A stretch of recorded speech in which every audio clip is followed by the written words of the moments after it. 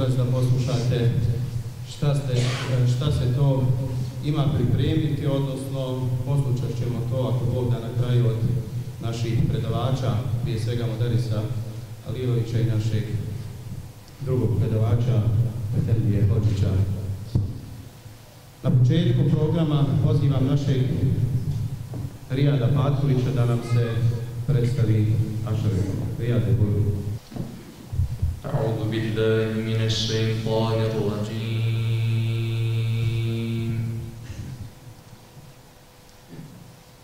بسم الله الرحمن الرحيم.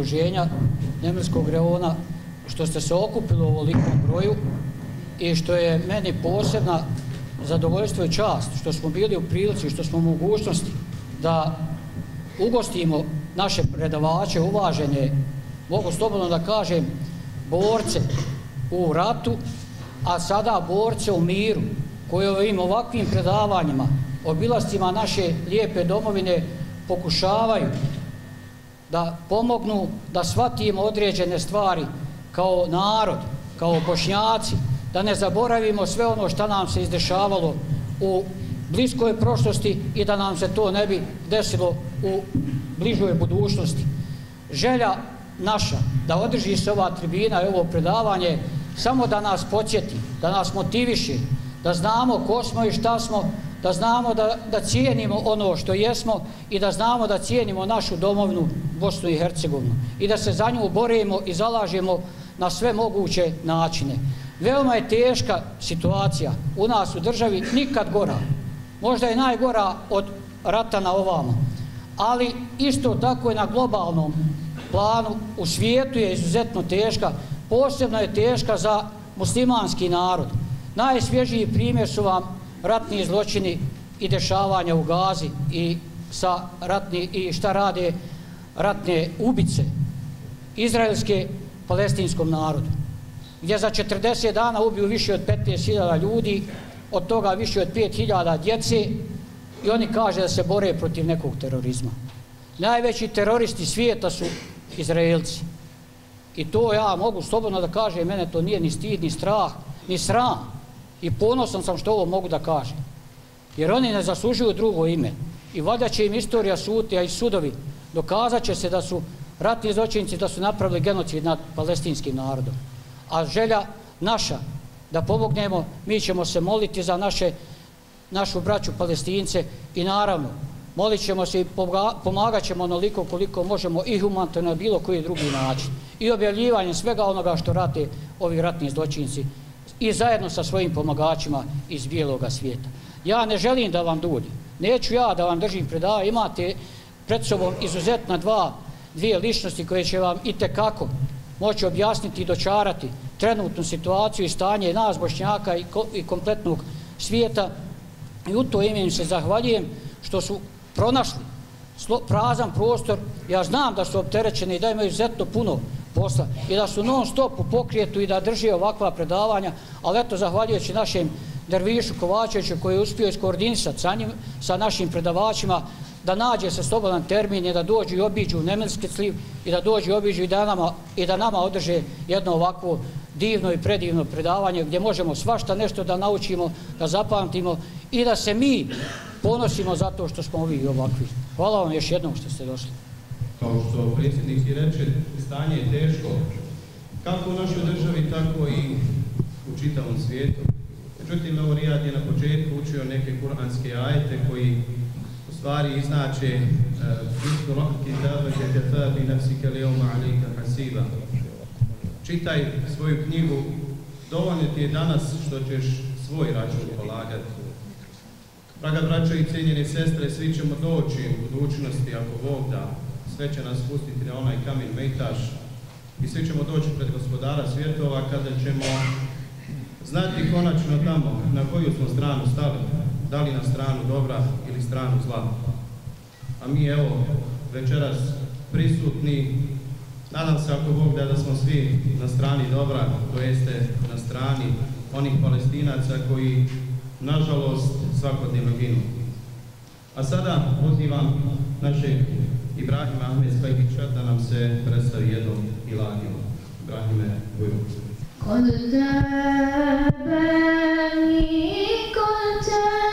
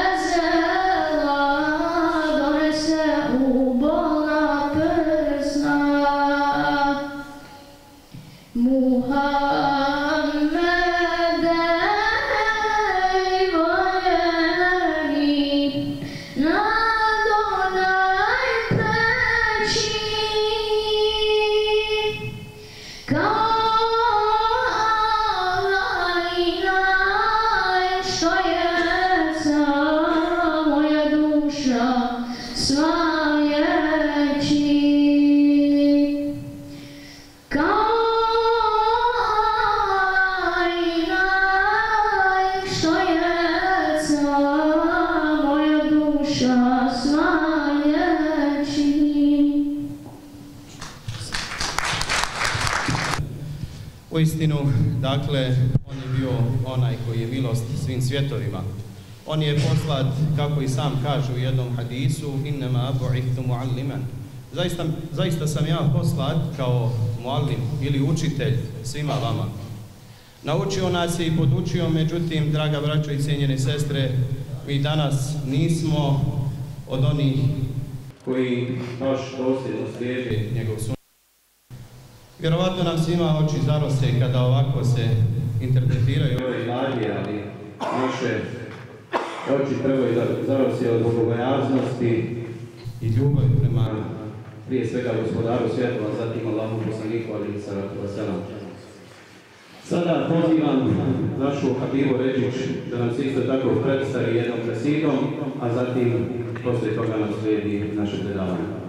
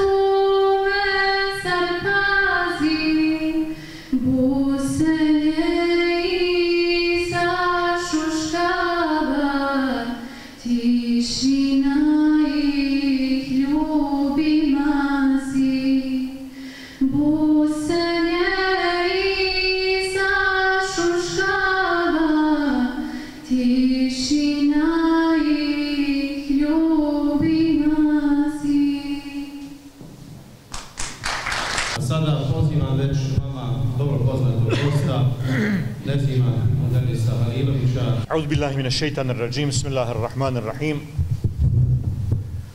الحمد لله رب العالمين والصلاة والسلام على رسولنا ونبينا محمد وعلى آله وأصحابه وسلم تسليما كثيرا السلام عليكم ورحمة الله وبركاته Hvala Allahu šanu gospodaru svjetova, salavat i selam na imama svih poslanika Muhammeda sallallahu alaihi wa sallam, selam njegovu časnu porodicu, njegove sahabe, Selam na šehide Bosne i Hercegovine, šehide Gaze, šehide Palestine, sve šehide ummeta, poslanika sallallahu alaihi wa sallam i na sve one koji slijeduje put Islama sve do sudnjega dana. Molim uzvišenog gospodara da nas koji smo se okupili ovdje u ovom hero, herojskom mjestu u Nemilskom slivu ovdje u Nemiloj pomogne i da inša Allah ovo naše druženje noćas bude samo u ime gospodara svjetova, da nešto naučimo, da potvrdimo ono što znamo, da se približimo našem gospodaru, da zaslužimo njegovo zadovoljstvo i da postignemo ono što je najbolje u džennetu, a to je Firdevs. Zahvaljujem se organizatoru na pozivu, naravno vama na pozivu, posebno se zahvaljujem predsjedniku udruženja s našem bratu neumornom Salki, e, našem Harun, Harun Efendi koji je neumoran i koji je u stvari danas došao sa puta, dalekog puta, prevalio je u jednom komadu 1700 km da bi došao ovdje, da bi se družio zajedno s nama, naravno našem, našem dragom imanu Smajl Efendi i ovoj vrijednoj našoj omladini. Sve što radimo u ovih posljednjih 56 dana, što se god trudimo, što kažemo, izgovorimo, što progutamo, što osjetimo, u svemu tome ummet, a i mi bošnjaci kao dio ummeta osjećamo gorčinu. Ni u čem od toga nema slasti zbog toga što naša braća i sestre u Palestini preživljavaju težak genocid, odnosno etničko čišćenje koje provode velike sile i cionisti iz okupiranog dijela Palestine. Ali, ono što treba da bude na ponos umetu je da palestinci, palestinski narod se nije predao, da palestinski narod nije klonuo duhom, da niti u jednoj izjavi niko od njih ne optužuje bilo kojeg muđahida borca koji se bori na Allahovom putu.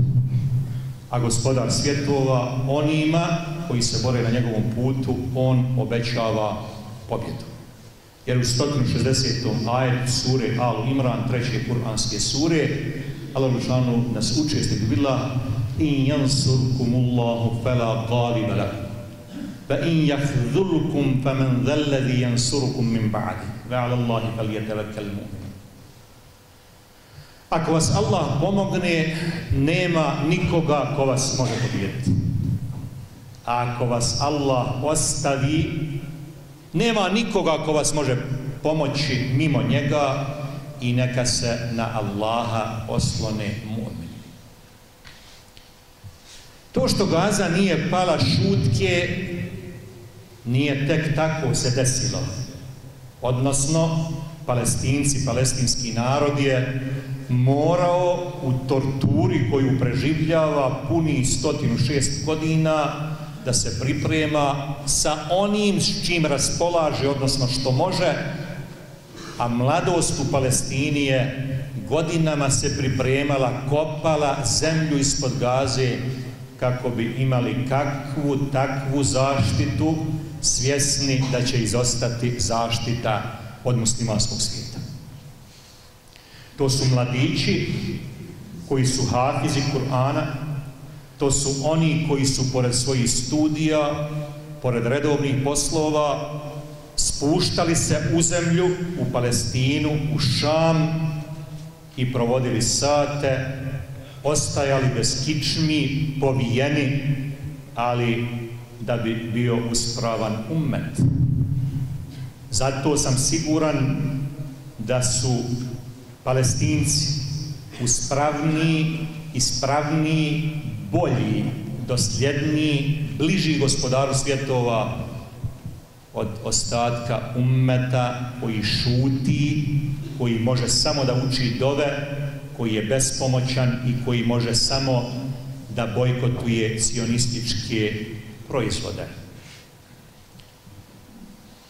Oni nisu poniženi, poniženi su, čini mi se, bošnjaci koji su za samo nepunih 30 godina zaboravili, potpuno zaboravili šta im se desilo. Bošnjaci čija omladina umjesto da se prihvati knjige, da se prihvati posla, ne može se proći našim čaršijama od naše omladine koja je uz nargile i koja još čini mnoge druge grije. Ali, bez obzira na žrtve, mi smo svjesni da svaki ubijeni musliman, pogotovo oni koji se bore na Allahovom putu s oružjem, ali i oni nedužni ljudi i djeca, da su oni od stanovnika dženneta, nadamo se od stanovnika Firdevsa. A niko od nas ne zna kakav će naš svršetak biti. Ono što bi trebali da naučimo iz Gaze, mi bošnjaci koji smo preživjeli tešku oružanu agresiju na našu domovinu je da nikome ne smijemo vjerovati, a da se možemo osloniti samo na gospodara svjetova i na naše vlastite resurse. Naš biološki potencijal i materijalno-tehnička sredstva koja su nam na dohvat ruke. Ono što je naše. Sve drugo ne pripada nama. Svi avioni, tenkovi, samohodke, rakete, dronovi, ono što nam se ponekad obećava, Gaza je pokazala da to ne pripada nama, to pripada određenim muslimanskim zemljama, samo kako bi paradirali u određenim datim, datumima, a obično je to u danima obilježavanja određene zemlje, ili onda kada tu silnu tehniku treba upotrijebiti na zahtjev, odnosno naredbu velikih sedam sila, što, je, što se desilo u Iraku, u Libiji i u Jemenu. Zato mi bošnjaci se moramo ozbiljiti, moramo da budemo svjesni opasnosti, okolnosti u kojima živimo i da svako od nas isključivo radi svoj posao. I upravo da svako od nas na tragu 18. ajeta sure Al-Hashr da razmišljamo šta smo to mi za sutra pripremili. Kao što nas gospodar svjetova učestnik bila Ja ejuhal ladina amanu takullaha val tandur nafsum ma qaddamat livadin vattaqullah inna Allaha habirum bima ta'malu. Ovi koji vjerujete, bojte se Allaha i neka svako od vas razmisli da pogleda šta je to za sutra pripremio. I bojite se Allaha, u istinu Allah sve zna i On je o svemu obavješten. U ovom kuranskom ajetu gospodar svjetova nam dva puta naređuje bogobojaznost. Da se samo njega bojimo i da razmišljamo svako od nas po na osobu.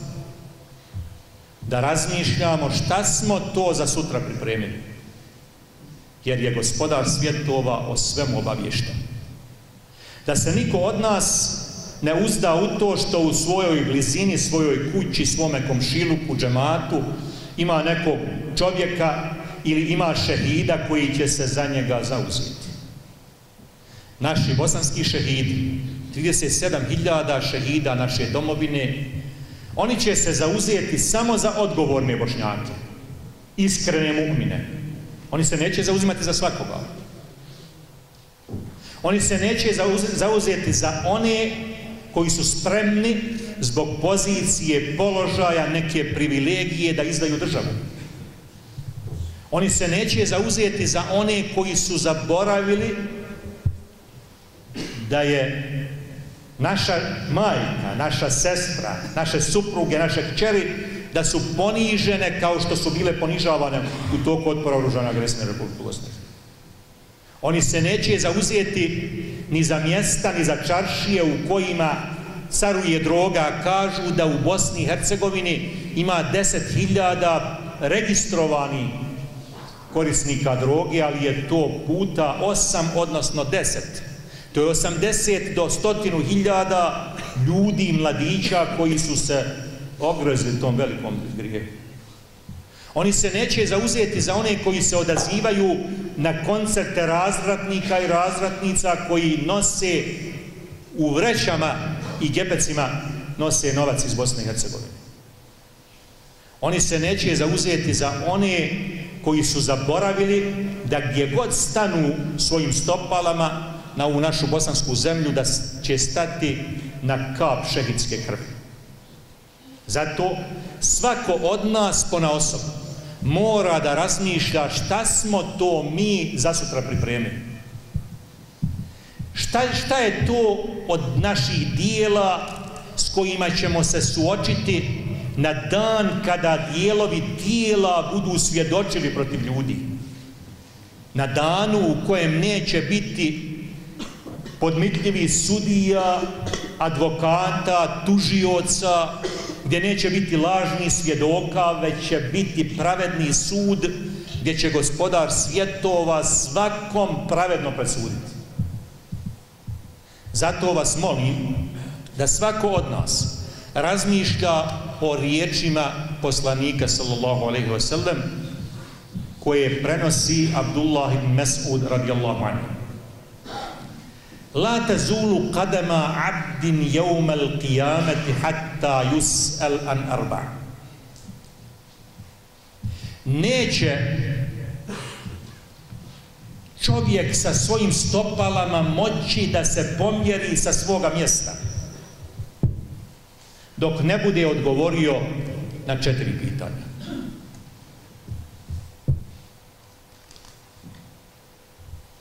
Či niko od nas neće moći da se pomjeri sa svoga mjesta dok ne budemo dobili četiri pitanja i na ta pitanja dok ne budemo dali odgovor. An šebabihi fima eblah. U što smo svoju mladost proveli? Zbog čega je prvo pitanje za mladost? Zbog toga što je mladost najproduktivniji, najvažniji period u ljudskom životu. Tad je čovjek i psihofizički najsposobniji i samim time je najodgovorniji. A kad se vratimo unazad 30 godina, shvatit ćemo u potpunosti šta znači mladost. Jer je mladost se žrtvovala za našu domovinu Bosnu i Hercegovine. A kad prođemo kroz naša mezarja, vidjet ćemo da su to uglavnom čak i maloljetnici. Dječaci koji su nas, ratne komandante, varali sa lažnim potvrdama, saglasnostima navodnim od njihovih roditelja, jer je to bilo neophodno da bi pristupili određenim jedinicama. Zbog toga je preporuka u ovoj našoj mladosti da iskoristite svaki svoj trenutak. na najbolji način da stičete najkorisnija znanja, da postignete najviša moguća zvanja i da to primijenite u svome praktičnom životu, a da se ne ugledate na nas, ovu generaciju nas koja je na zalasku, u kojoj je najviše eksperata, stručnjaka za tuđa pitanja, eksperata za sve što ih se ne tiče. Među nama je najviše onih koji znaju šta bi to drugi trebali da urade. Ali kada postavimo pitanje šta smo to mi uradili na našim radnim mjestima, pa čak i u svojim porodicama, gotovo da nemamo šta nabrojati.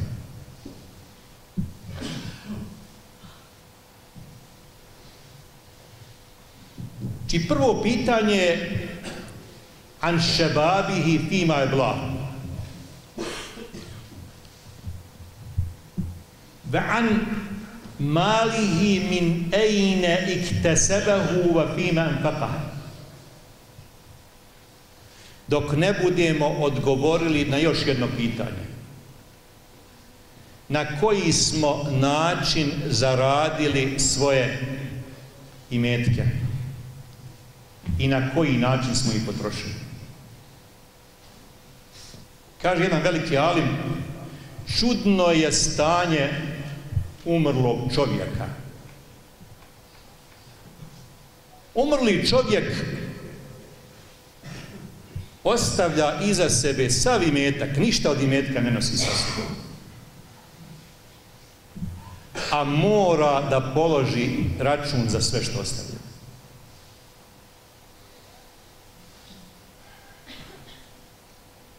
Či svako od nas treba da razmisli prije nego što se odluči da nešto uzme, da nešto zaradi, je li to halal? I da razmislimo na koji način ćemo utrošiti taj metak. U prvo vrijeme Islama, kad bi muslimani izlazili iz svojih kuća u potrazi za dunjalkom, za nafakom, njihove supruge bi ih prvo nahranile,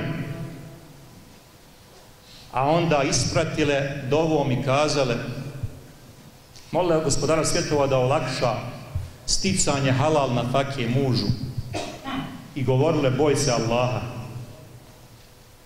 Nemoj slučajno da u kuću doneseš nešto od harama. Jer nam je lakše trpiti neimaštinu nego da trpimo i glad nego da trpimo džehennemsku vatru. A kad bi se ljudi vraćali sa posla, opet bi dočekivale i ne bi pitale šta su donijeli od Dunjalka. Već bi pitale šta su naučili od Allahove vjere ili od sunneta poslanika sallallahu alaihi wa sallam. Danas moji bošnjaci iz kuća izlaze gladni Tješe se mnogi bošnjaci da kažu ne mogu da jedu rano, ujutro, rano im. I da je najbolje da se napiju kriglu mlakije vode i da je to najbolje za organizam. A onda na pauzama jedu su hljeb i konzerva. A kad dođu kod svojih kuća, onda ih njihove supruge pitaju šta si donio? Šta si zaradio? A ako nije zaradio onoliko koliko su potrebe domaćinstva, onda kaže da je čovjek nesposoban. Jer je sve manje bošnjaka koji govore o tome na koji način je nešto, nešto zaradio. Treće pitanje, an umrihi ima ablah, dok ne budemo odgovorili na to u što smo živote svoje proveli. U što nam je prošao naš život? Šta je to što je obilježilo naše živote? Van ilmihi mada amile bih i dok svako od nas ne bude odgovorio o znanju koje smo stekli, da li smo po tome se vladali? Da li smo po tome živjeli?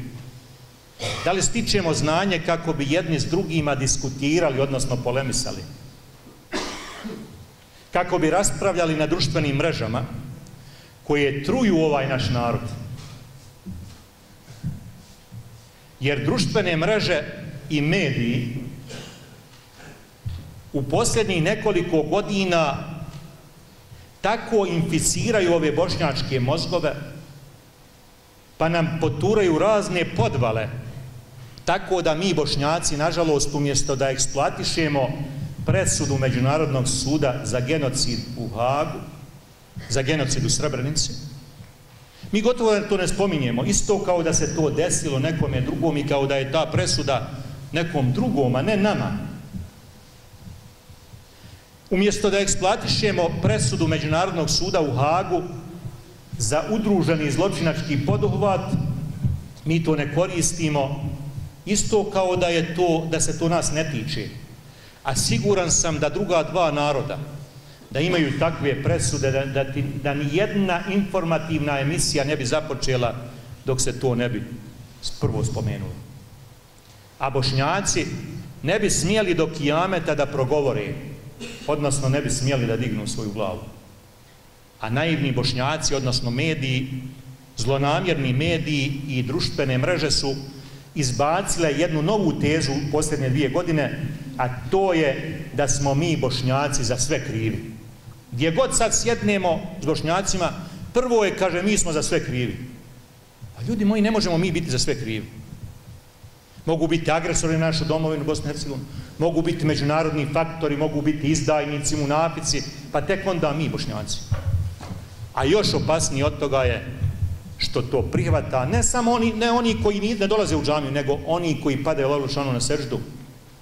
U posljednje vrijeme čak se usude neki bošnjaci da kažu da je rahmetli predsjednik Alija Izetbegović kriv za sve. Odnosno, da je rahmetli predsjednik Alija Izetbegović izdao Srebrenicu. Zamislite vi šta to znači. Kakva je to potvora, kakva je to laž koju prihvataju neki bošnjaci. A poslanik, sallallahu alaihi wa sallam, nas u hadisu uči, ena za'imum bi bejtin fi rabadil džanna, limen teraka al mira'a wa in kane muhiqqa. Ja sam sudrug, odnosno ja sam predvodnik u džennetu, onome u kraju dženneta, ili zajedno smo u istom dvorcu, onome ko ostavi bespotrebnu raspravu, makar bio u pravu. Jer svekim bošnjacima je izlično raspravljati. Neki bošnjaci imaju teške, akutne bolesti u njihovim mozgovima. A to je najteža bolest. Jer svaka druga bolest fizičkog karaktera, znači može se rješavati u neko, nekom od kliničkih centara. Ali nešto što je u glavama nekih bošnjaka, ona se ne može nikako promijeniti. Či onaj ko ostavi bespotrebnu raspravu, makar bio u pravu. Veza'imum bi bejtin fi vasatil džanna, li men terekal kedibe va in kane maziha. I ja sam predvodnik ili sudrugu u džennetu, u dvorcu, usred dženneta, onome ko ostavi laž, makar se šalio. Veza'imum bi bejtin fi a'lal džanna, li men hasuna huluqa. I ja sam sudrug u dvorcu na vrh dženneta, odnosno u Firdevsu, ono što je najbolje u džennetu, onome ko bude lijepog, lijepog ponašanja. Moj brat Harun je bio u mnogim džematima u našoj domovini Bosni i Hercegovine, ali i u bošnjačkoj dijaspori. I ovo je knjiga koju je on napisao ne da bi hvalio sebi, nego da bi prenio doživlja jednog borca, pripadnika armije Republike Bosne i Hercegovine, kako bi nas potakao na razmišljanje. Naravno, ovdje je njegova istina, odnosno ono što je on doživio i nije, obzirom da sam ja recenzen, jedan od recenzenata ove knjige, nije Harun Efendija Hođić, major armije Republike Bosne i Hercegovine, nije isticao sebe u prvi plan. Harun Efendija Hođić ovdje više snažnije govori o svojim saborcima, o nekim teškim situacijama koje, nažalost, ostavljaju trajne traume, odnosno posljedice na nas. Sežda na čistoj zemlji bosanskoj je knjiga koja se čita u jednom dahu. Knjiga koja bi trebala da se nađe u našim kućama, odnosno da mi, koji smo živi svjedoci, ali pogotovo naša djeca, da je imamo, da je pročitamo, da je ustupimo nekom drugom, kako bi se naučili ne, nečemu što govori o oružanoj agresiji na našu domovinu Bosnu i Hercegovinu, a agresija na našu domovinu drugim metodama, ona traje, intenzivno traje i ona, ona je neprekidno. Molim uzvišenog gospodara da sve vas koji ste došli na ovu noćašnju tribinu, pogotovo organizatore, ovu našu vrijednu dječicu, ovu našu omladinu, Elolešanovu nagradi najboljom nagradom, da gospodar svjetova našoj braći i sestrama u Gazi i Palestini podari skoru, brzu, konačnu, potpunu pobjedu. Elolešanovu naše šehide, šehide Gazi, našeg rahmetli predsjednika Aliju Zedbjegovića i naše umrle, počasti Firdeusom onim što je najbolje u džennetu, da uputi našu djecu, naše potomke, da oni šala budu bolji čuvari dina i domovine od nas, Allah Rošanu spletke dušmana i spletke munafika vrati na njih, da se oni zabave sami sobom, da Allah Rošanu bude milostiv na sudnjem danu i da nas uvede u džennete u društvu sa poslanicima, iskrenim šehidima i dobrim ljudima. Salamu alaikum wa rahmatullahi wa barakatuh. Uzvišeni gospodar kaže u Kur'an Kerimu Inna Allaha la yubayyiru ma bi qawmin hatta yubayyiru ma bi anfusihim. Allah neće promijeniti stanje jednog naroda dok taj narod ne promijeni ono što je pri njemu. Odnosno dok mi sami sebe ne promijenimo, neće se i naše stanje promijeniti.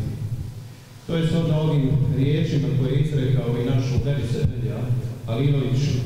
Dakle, draga braćo, na budućem svijetu, ako Bog da, bit će postavljena svakom od nas naša knjiga, odnosno knjiga naših dijela, pa će čovjek tamo upitati, imate u suri Heh, učite i svaki petak. Mali hadam kitabi la je vladiru sadilatem, vola ti bilate ni.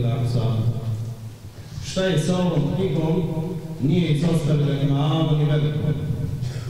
I u istinu, evo ono što je spomenuo Modelis, naša mladost, naša starost, sve će biti zabilježeno u ovoj knjizi, knjizi naših života. Ja se zahvaljujem, ne znam, da li na ovim inspirativnim riječima koje su svima nama večeras i pouka i poruka. A sada pozivam Rijada Patkovića da nam se ponovo predstavi jednom kasitom. Gdje su one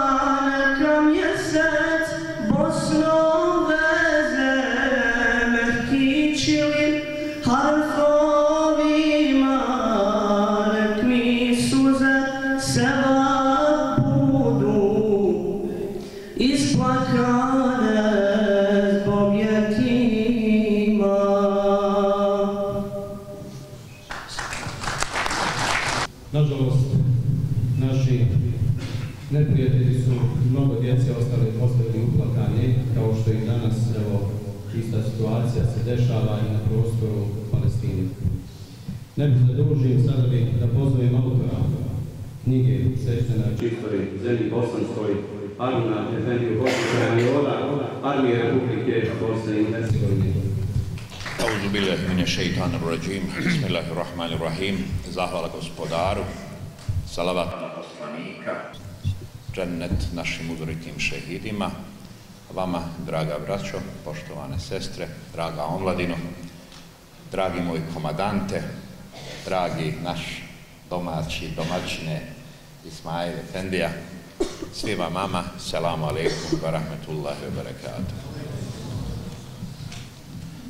Iako sam, kako rečem, u Deris puno vozio, nisam umoran kad vidim vaša lica, kad vidim vas, kad vidim da ste željni da slušate ove naše priče koje širom Bosne i Hercegovine dijaspore prenosimo zajedno sa našim komadantom Nezim Halilović Muderisom.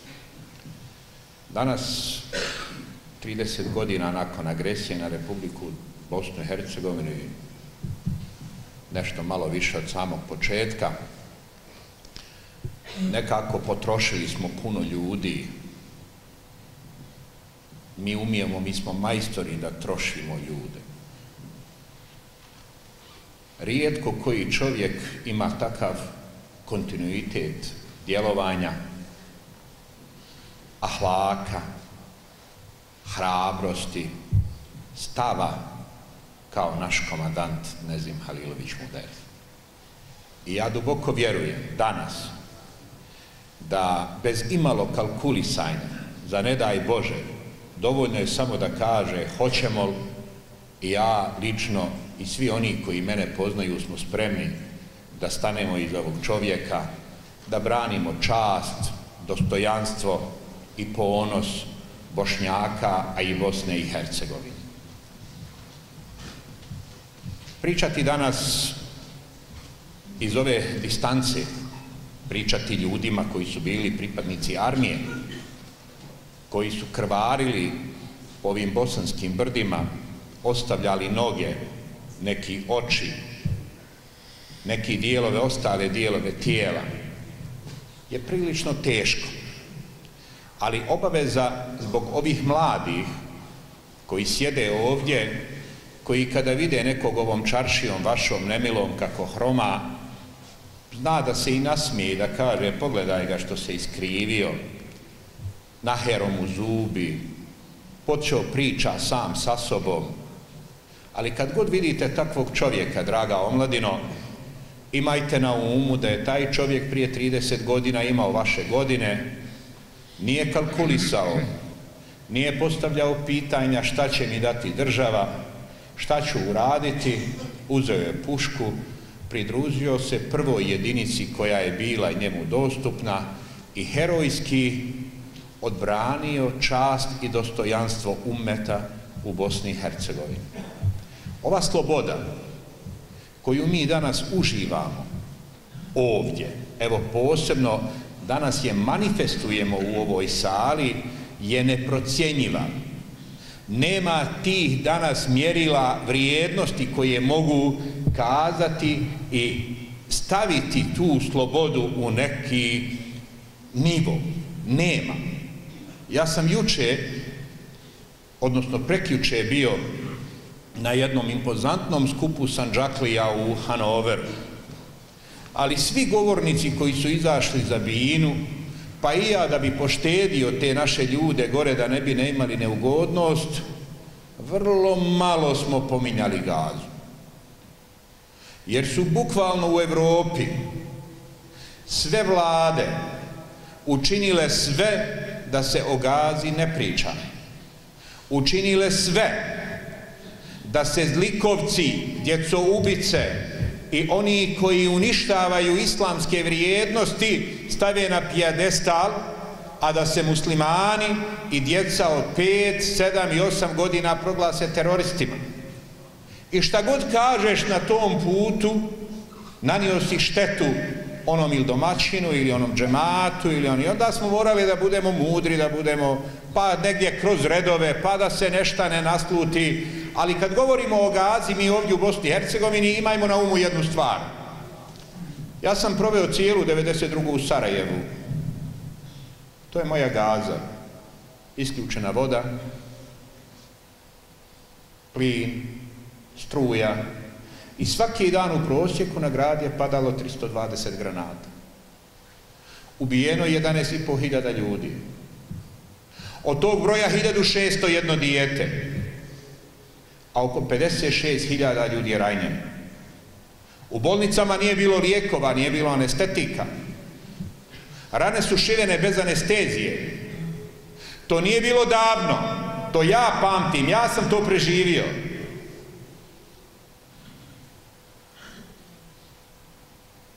Ukoliko zaboravimo naše heroje, ukoliko zaboravimo našu častnu borbu, ukoliko se prepustimo ovom medijskoj agresiji na naše umove, da su sve neki drugi tamo bolji, a da smo mi najgori, ponovit će nam se gaza. Ona je tu, ona je na našim vratima. Ona svaki dan kuca na naše prozore. Kad se neće ponoviti? Neće se ponoviti ako svako naše dijete bude znalo da nabroji devet heroja. Sapet Hadžić, Sapet Zajko, Enver Šehović, Mitad Hujdur Hujka, Nesim Malkić, Mehdin Hođić, kapetan Hajro Mešić, Adil Bešić, i Izet Nanić, ako budemo odgajali ovog mladića Ibrahima koji je večeras ovako lijepo učio Ilahiju, da bude ponosan, da bude uspravan, da ni pred kim ne saginje glavu osim pred gospodarom na seđdi, imamo šansu za opstankom.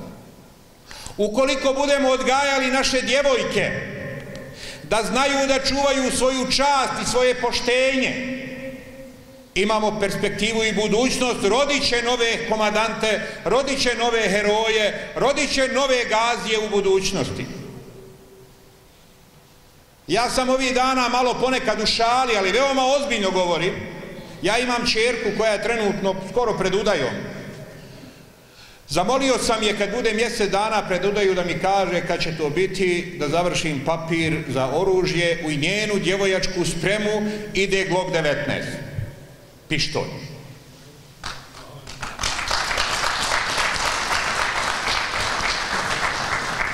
Momci, ne bojte se, ne prijatimo za to. Želimo da pošaljemo jednu tešku poruku. Da više nikad ni jedna bošnjakinja neće biti silovana na ovom području.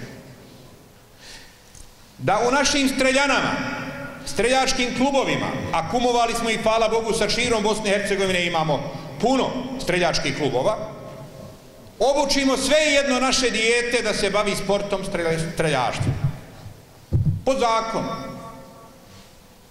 Bez ikakvih ambicija da nekome prijetimo. Ali samo sa jednom ambicijom da nam se ne ponovi gaza. U našim lovačkim udruženjima Istjerajte sa predsjedničkih mjesta one lokatore koji loču alkohol u onim lovačkim klubovima, a dovedite penzionisane i demobilisane oficire Armije Republike Bosne i Hercegovine, nekod svake lovačke družine naprave formaciju koja je spremna braniti vaše mjesto kao što brani lovo, lovo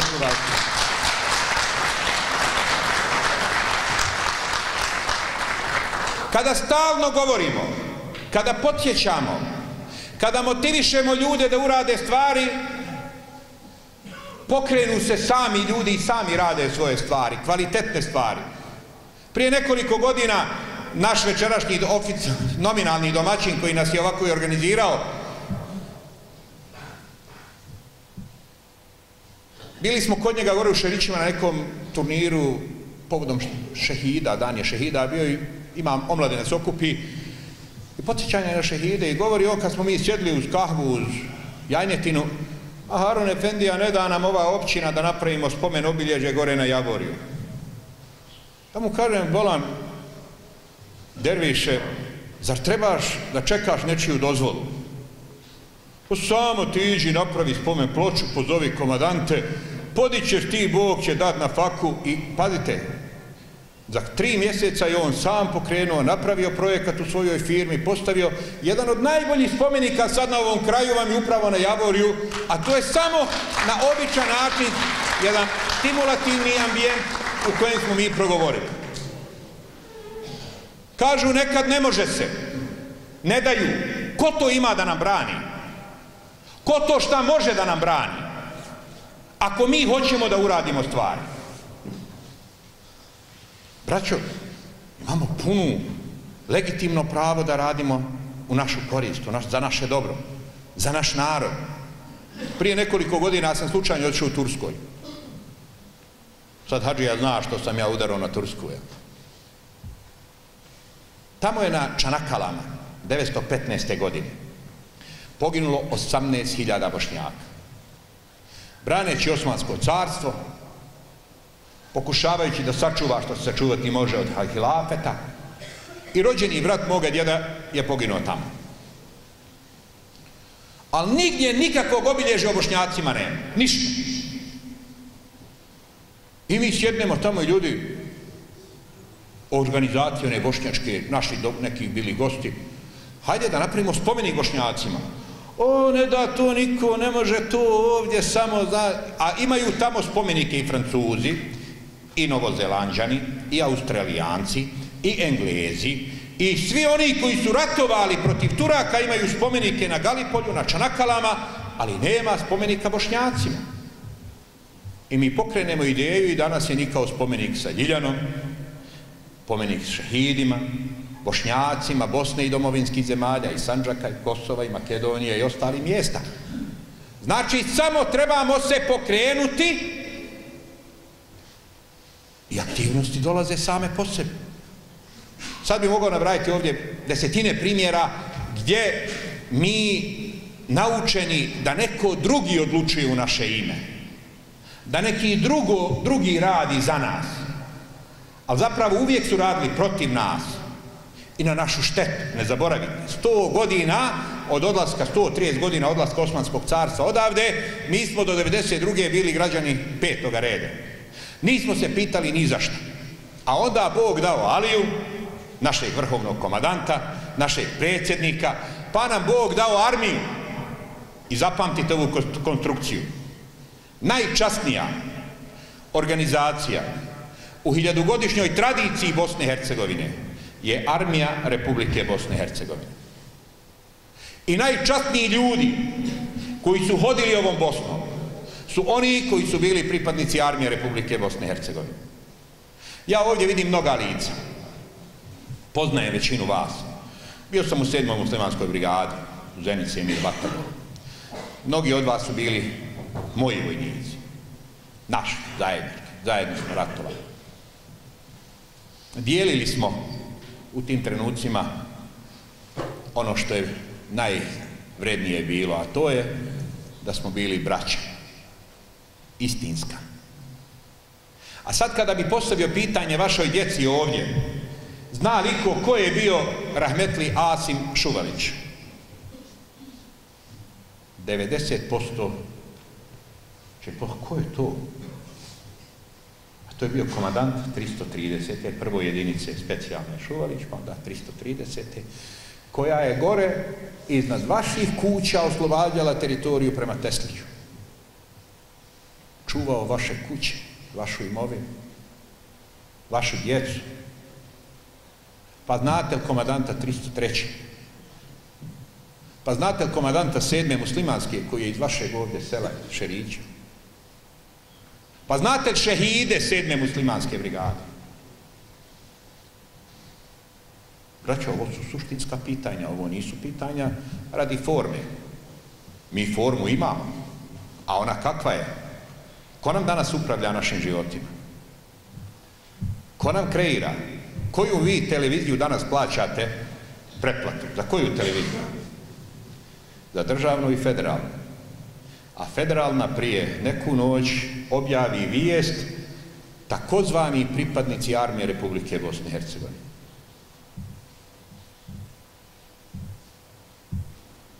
Ovo je formalna dimenzija. Ali ova suštinska o kojoj mi ne razmišljamo je upravo ovo što sam pokušao da vam skrenem pažnju. Molim vas, ja znam da ste vi dobri česti muslimani. Da vi idete u džamiju, evo napravili ste jednu velelepnu džamiju, dvije munare, na, naćete vi put prema džennetu. Ali da bi ostavili našim budućim generacijama slobodu i ponos, ne smijete prijeći preko ovih stvari. Zašto nama u zadnjih 150 godina nismo, nisu dali da imamo heroje? Mi nismo mogli imati heroje ni u prvom, ni u drugom, ni u bilo kojem svjetskom ratu. Ratovali smo na tri fronta, na te za tri države, po tri bajraka. Poslije toga su nam ukinuli jezik, identitet. Pa su nam dolazili ovdje učitelji iz Crne Gore. Niste vi mogli da budete učitelji vašoj djeci. Ja kad sam se neki dan u jednom selu Gore Gradišće, ja mislim, i kaže, vidite, ovdje ni jednog vlaha nikad nije bilo, ali svi učitelji su bili vlasti. Zašto? Pa da vam otuđe ono što iz džamije kod imama krivući naučite, a on dođe tamo i to vam istjera psujući vam Boga, psujući vam vrijednosti islamske. To su nam radili u našim kućama, u našim sredinama. Hvala Bogu, danas smo doživjeli evo, ovu dimenziju. Volimo armiju Republike Bosne i Hercegovine, volimo naše komadante, poštujmo ih i nekad pročitajmo ponešto. Evo Muderić je kazao pred vama, ja zaista ne želim vam ovo večeras ponuditi, Bog mi je svjedok da bi zaradio novac. Evo ja sam samo na ovom putu sada gore u Evropi prodao x knjiga. Ali kupujući ovu knjigu ponijećete kući uspomenu na armiju Republike Bosne i Hercegovine i vašoj djeci pročitati nekoliko priča. Ovo je priča o vama, možda čak i o nekima koji sjedite ovdje. O našem Mehidi Zareviću iz Vrselja, o našem Zuki, o našem Adrudinu Đelaliću koji evo ovdje sjedi, o našim muđahidima iz odrede El Mujahid koji su bili često a Hadžija zna da kaže da su oni bili mnogo bolji nego mi sedme, pa evo ja ću to pustiti sudu, vremenu i vama, da se vi borite, da, je, da, da, da izborite se za taj bolji status. I kad me jedno dijete u Njemačkoj tamo pitalo šta mi je to bilo najteže u ratu, ja sam zaista tek tad počeo kroz glavu da sabiram te neke utiske, pa onda bilo je stvarno teški situacije. Bio sam cijelu 92. u Sarajevu u obruču i ranjen sam tamo i šeli su mi rane bez anestezije. Nije to bilo najteže. Prolazio sam preko piste više od 50 puta, a preći pistu Sarajevsku, izaći vani i vrat se unutra, bilo kao da igrate ruski rulet sa četiri metka u cijevi. Jednom prilikom u pokušaju do blokade grada na Jahorini ostao sam sam u četničkoj teritoriji tri dana i tri noći u decembru na minus 20 sam proveo bez ikakvog grijanja u šumi i ušao živ u Sarajevu i kada sam preživio, tad je učinjena ta sežda na čistoj zemlji bosanskoj, koju nikad ni dan danas nisam ponovio. Ni to nije bilo najteže. Umirali su mi vojnici na rukama i gledao sam taj zadnji nefes, ni to nije bilo najteže. Najteže je bilo kad je poginuo Mehod Darević, Adil Kovačević i Samir Karić iz Sarajeva, I kad sam ja morao otići u Vrselje da javim porodici Mehedi Zarevića da je on poginuo. I nikad mi u životu ništa više, nikad ni posle toga nije bilo teško kao ta, kao ta situacija. I ja sam mislio da sam ja preživio svašta. I da je moja priča veoma teška. Ovi dana sam krenuo u novi projekat i pripremam materijal za novu knjigu i uzeo sam jedno tridesetak boraca širom Bosne i Hercegovine I kada mi je jedan Hasan Pinić iz Lasenice počeo pričati svoju priču i kada mi je kazao samo ovo, slušajte pažljivo, pješke je pobjegao iz Lasenice na slobodnu teritoriju Kladanj, to je preko 30 km. Pa je onda sa grupom ljudi trebao da pomogne muslimanima u Cerskoj, preko Vlasenice do Cerske, preko 50 km kroz četničku teritoriju, pa se vratio iz Cjerske opet na Kladanj, pa dva puta iz Kladnja preko brda u žepu da pokopa one ostatke, oni koji su ostali neukopani boraca koji su poginuli braneći žepu kada je pala žepa 90. Dva puta išao preko brda po nalogu iz molbi Alije Izetbegovića da učine što učini, učiniti mogu i da izvuku neke koji se krili po šumama. I kad je on to meni ispričao, onda se ja kazao, pa moja priča je nula. Ili evo ovdje sjedi jedan naš saborac, ostao je bez noge u ratu, Dževad Kanović, na Facebooku poznat kao Zrenac, samo jedan detalj. Išli smo, kaže, onako idemo naprijed i samo u jednom trenutku ja osjetim vatru i lebdim, ne znam gdje sam. Pao sam, ne znam gdje sam pao. Vraćam se sebi i svijesti, moj prvi, moj prvi instinkt. Ja rabi, hoćeš li me ostaviti bez džihada? Nije postavio pitanje, hoću ostati bez noge, hoću li ostati živ. Ja rabi, nije valja da ću ostati bez džihada. E taj aplauz dajte ovom dževadu stanu koji se vidi.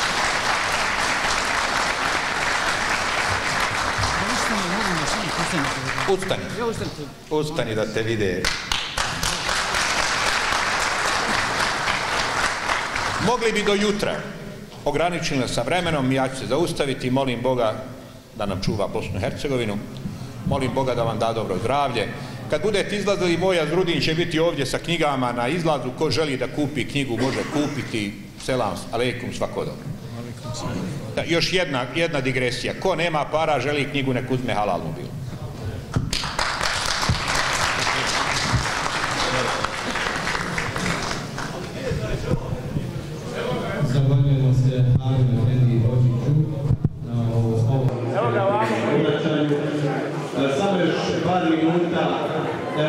Evo, uskoro završavamo sa večerašnjim programom. E, Još vodi Andrija da nam prouči Ašare, a zatim za kraj Ismail Efendija da nam prouči grobu i zvanično smo završili sa večerašnjim druženjem. Assalamu alaikum wa rahmatullahi wa barakatuh.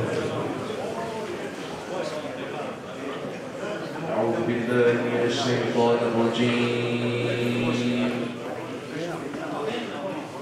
بسم الله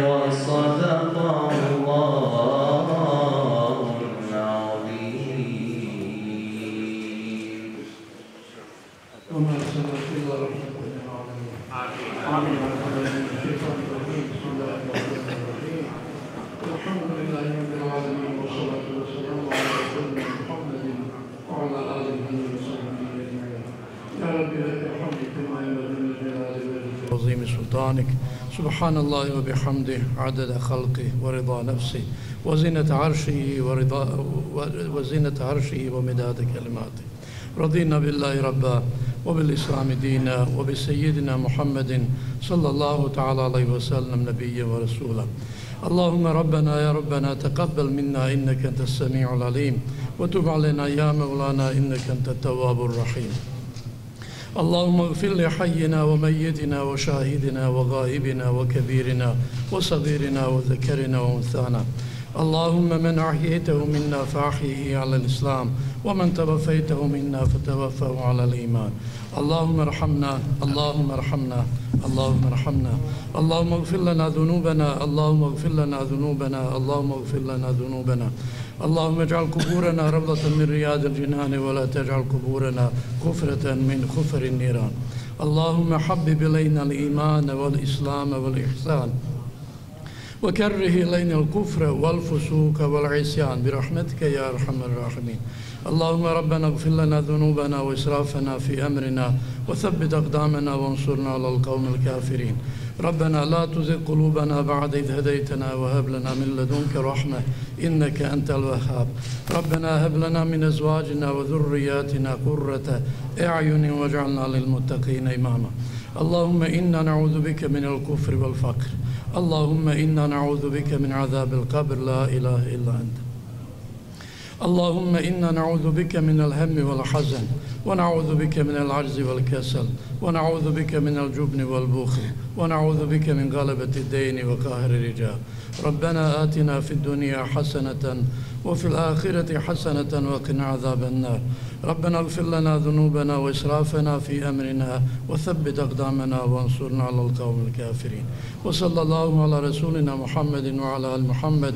سبحان ربك رب العزة عما يصفون وسلام على المرسلين والحمد لله رب العالمين. الفاتحة.